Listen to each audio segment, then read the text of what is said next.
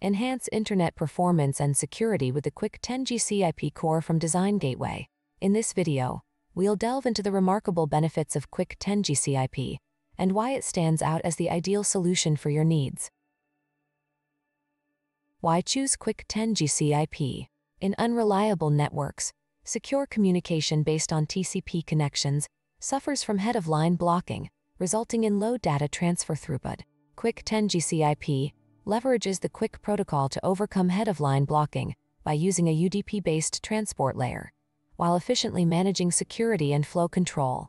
Our QUIC10GC IP ensures network security, maintains high throughput, is compatible with 10G Ethernet, and operates without the need for a CPU. Let's take a closer look for head-of-line blocking issue. Head-of-line blocking in HTTP 1.1 occurs because it uses a single connection for multiple requests. When a client sends several requests, the server must respond in order. If one response is delayed, all subsequent responses are blocked, leading to slower performance and inefficient use of the connection, especially in high latency or unreliable networks. HTTP2 addresses head-of-line blocking with multi-stream multiplexing at the application layer. It splits data into smaller frames, interleaves them, and identifies them by stream IDs. For example, there are three streams ABC for this connection. This allows independent streams to be processed out of order, reducing head-of-line blocking at the application layer, though it still remains an issue at the transport layer with TCP. In an unreliable network using TCP, packet loss leads to head-of-line blocking. Imagine the sender transmits four packets, but packet A2 is lost. When the receiver gets packets B1, A3 and C1, they are blocked and cannot be sent to the upper layer for processing because packet A2 is missing. TCP needs to receive packet A2 to construct the continuous received data before sending it to the upper layer. In this scenario, TLS can only process encryption decryption for packet A1. The TCP engine must completely receive packet A2 before sending packets B1, A3 and C1 to TLS for continuous processing.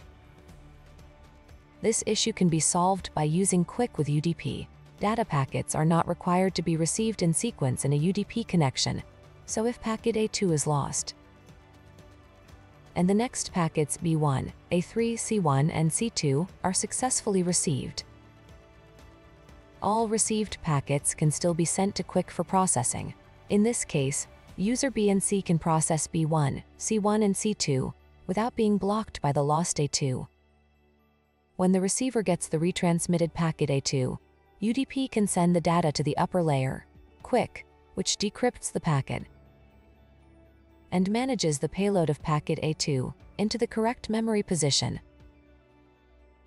This figure illustrates the protocol stack differences between TLS TCP/IP and the QUIC UDP/IP. QUIC UDP/IP is used instead of TLS TCP/IP to solve to head-of-line blocking. QUIC implements TLS 1.3 for key negotiation and handles encryption decryption, congestion control, loss recovery, and stream multiplexing, integrating some transport and application layer responsibilities. Our QUIC10GC IP implements both QUIC and UDP IP layers, efficiently managing data flow, providing reliability, and ensuring security.